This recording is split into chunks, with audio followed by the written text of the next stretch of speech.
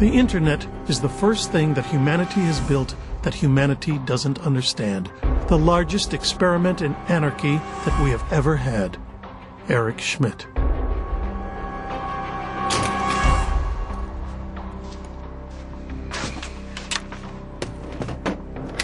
Just for the record, I didn't do this.